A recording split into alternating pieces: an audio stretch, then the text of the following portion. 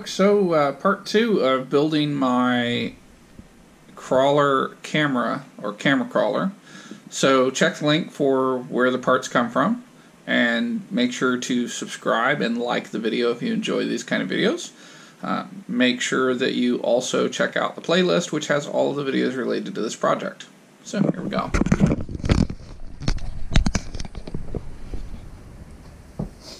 So, we're going to do the rear axle. And uh, the first part of this is to build the pumpkin. So those go to the drop axles, as do these. And what we need to do first is a whole bunch of screwing.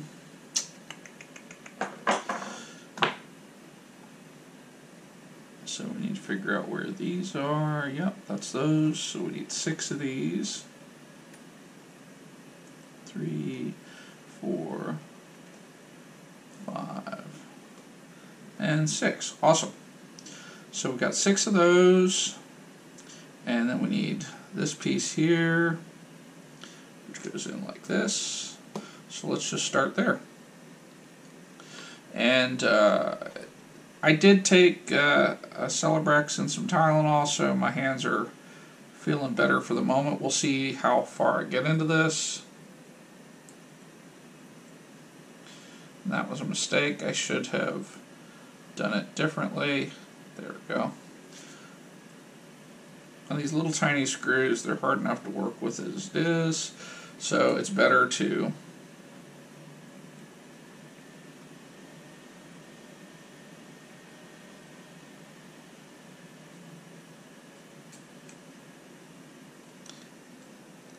put them on the tool first.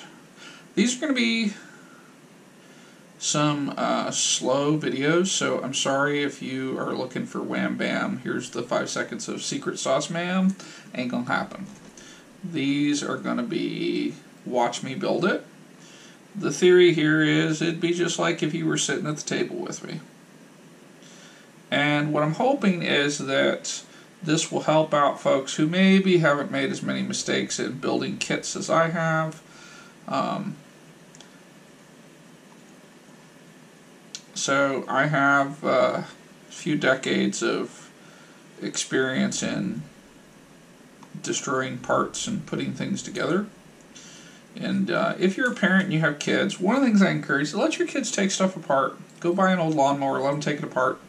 Even if it doesn't go back together, they will learn so much. And uh, if you have a curious child, you really need to indulge that curiosity. It leads to great things in life. Um, and each person learns differently. And you know I, I have very fond memories of taking things apart and going hmm, hey I have parts left over. And that's okay. You know I learned from those things. And uh, I've always been very curious mechanically. So for me it's as much fun using the tool as building it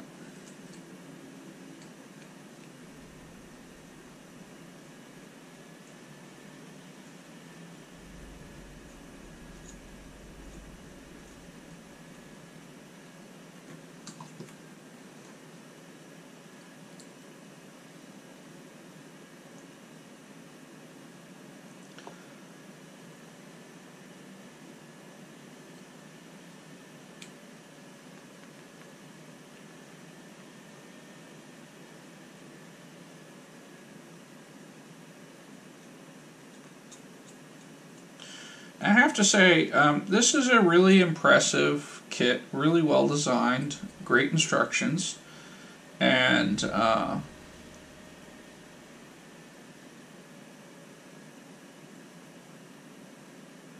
you know, I'm not sure the quality of the metal. I think this is all press um, cast, so it's a powdered metal that they press and can make little parts out of. that's okay. This is still a you know, it's impressive. And um, these little gears can actually take quite a bit of shear strength. Um, it's not as good as solid CNC, but it's pretty good. Alright, so that's kind of the extent of that. We will need the black grease here in a minute. So now what we need to do is figure out, pretty sure it's these, yep. These go here and here. And uh, it doesn't call for black grease in the bearings, but they are open-sided bearings, so I am adding grease to them.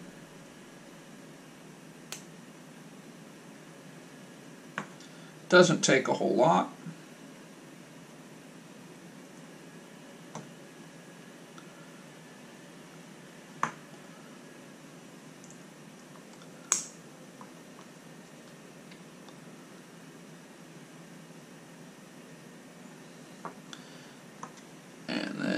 Figure out how this goes in, just like that. Put some grease on my shorts, it's a great place for it.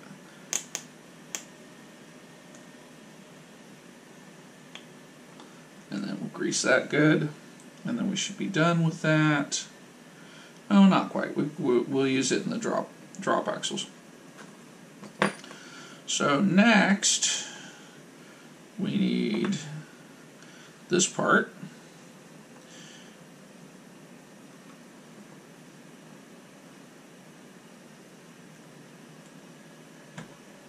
One there.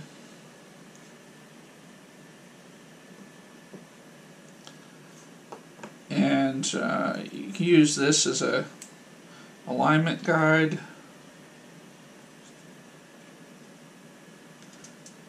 That way you get that pressed in there straight. So what I did is I just pushed that in there and then use that to pull that into position. Okay, so then this goes in like this. Alright, and there's a little there's a little slot in there that lines up. And that's how you know where you should put this.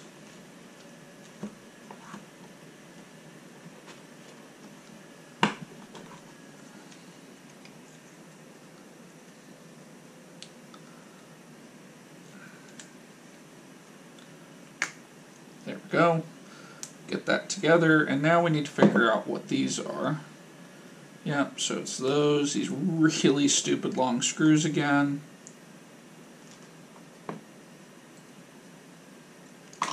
And back to two millimeters.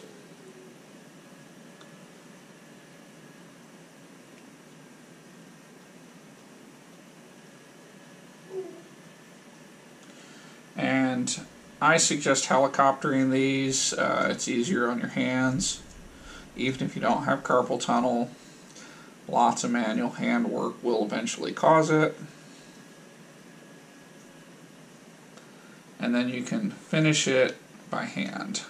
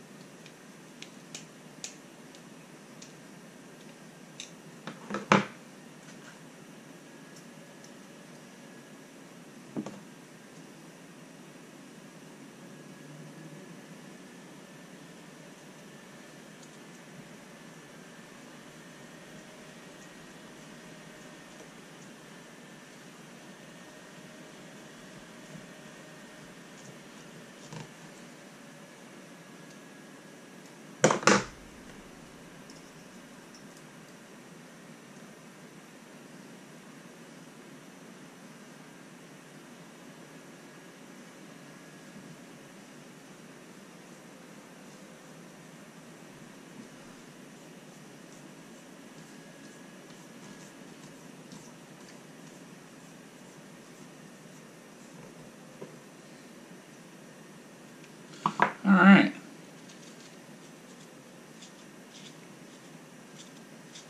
So now we need to pop these in.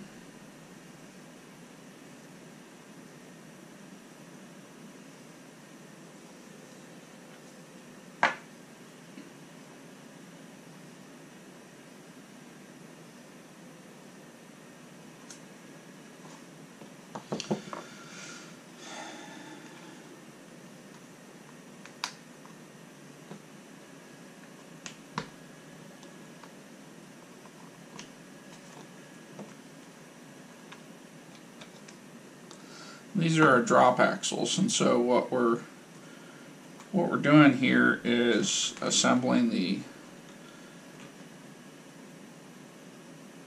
drop axle components. This also gears down the wheels.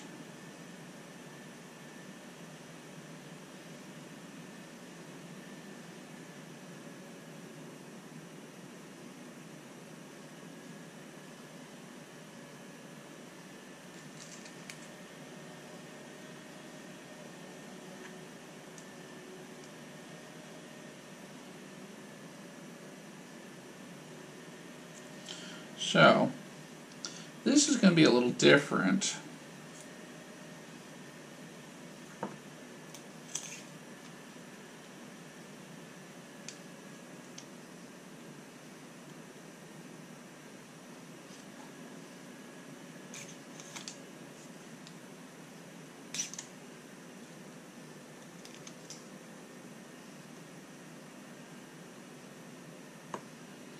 So we got to figure out which side is which.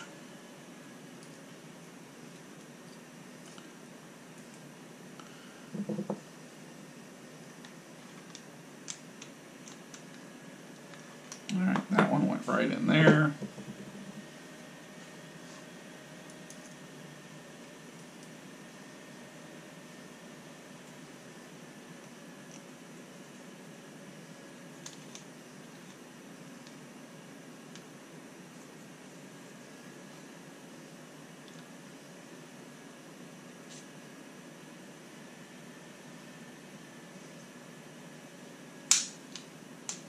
There we go.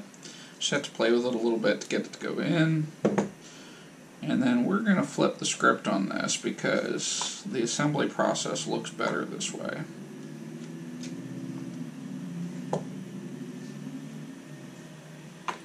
And then we need a little bit of black grease.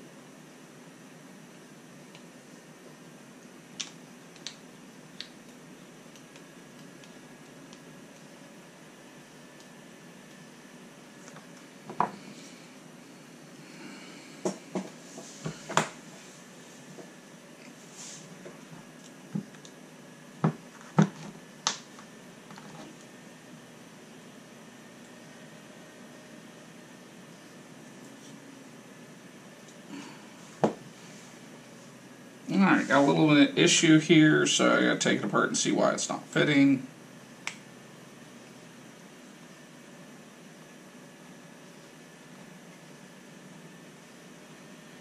And it's starting to wear out my hands again.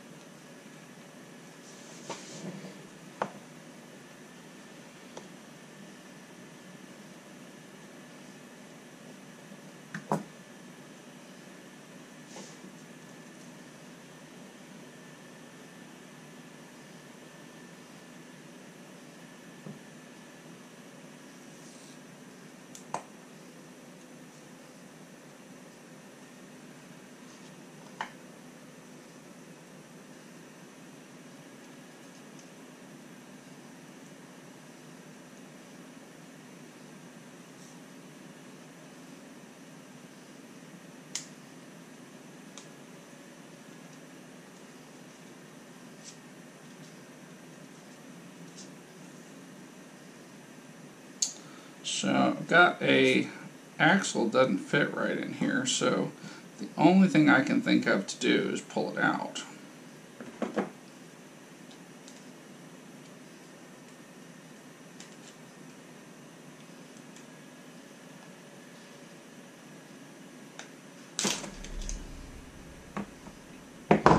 And then let's look at these and see if they are truly, well, they look identical.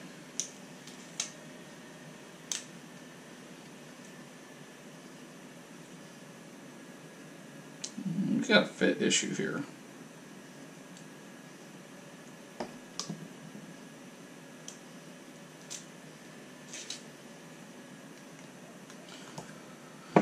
So let's see what the other side's like.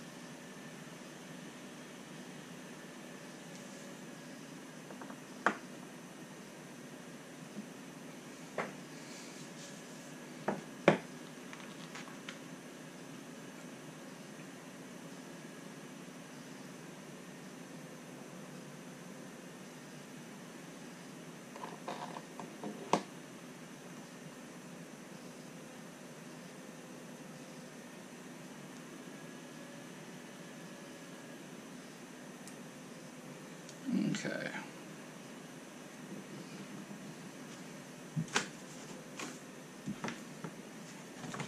I am missing some bearings, so I don't think they've gone very far, but we're gonna dig a little deeper.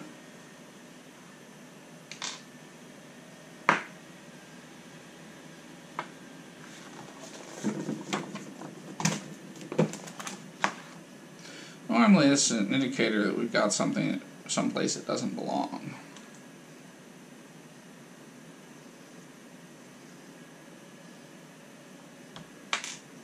Missing two bearings.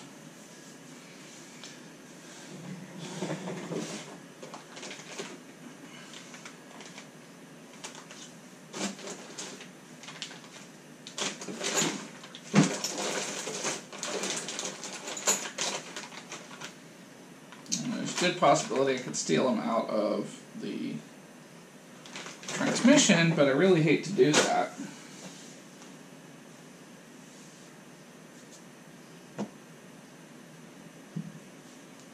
I'm just gonna stop and retrace. So there, there, there, there.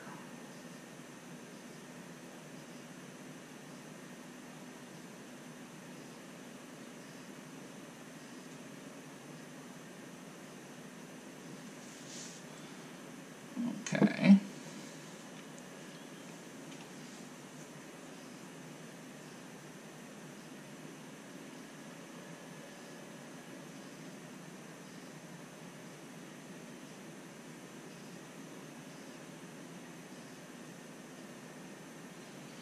Oh, okay. Well, that's interesting.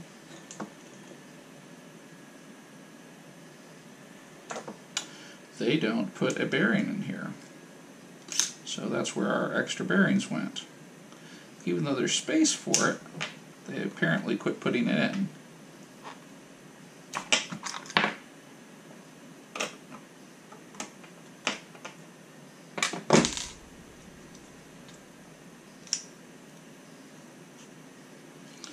So we're going to have to be mean to the bearings and pop them out with the axles.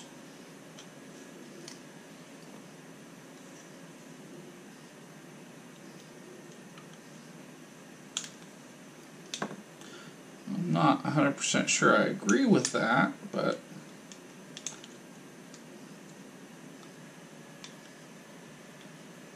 now where were we before we were so rudely disrupted? Yeah, that does solve the clearance issue.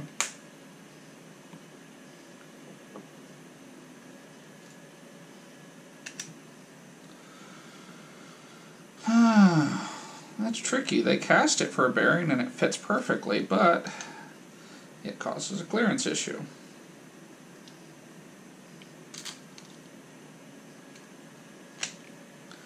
Alright, well, that does solve that.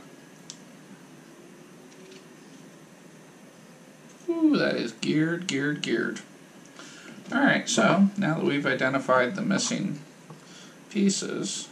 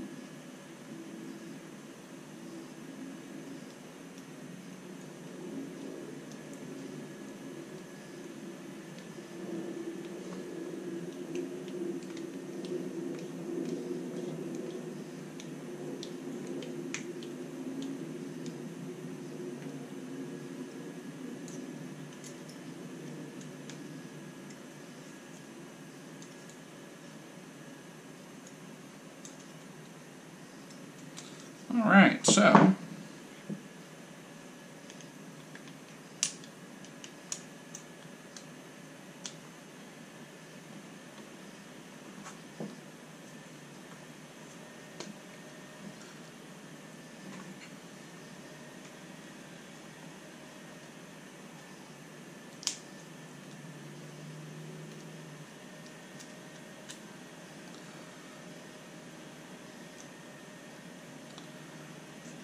just need a little grease.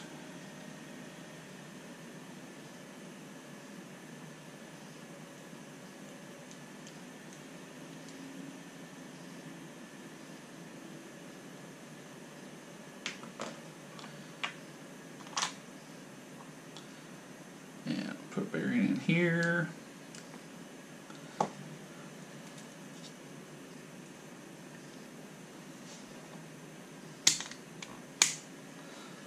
And boom, we are four screws from being done with the rear axle.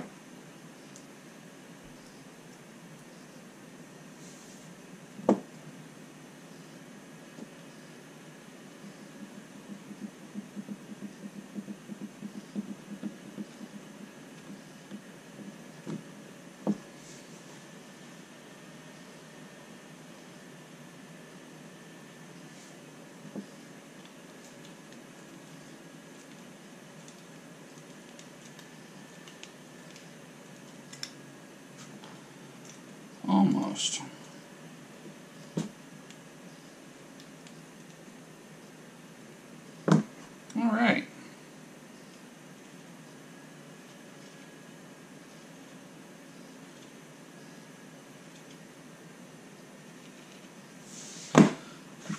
All right, thanks for watching.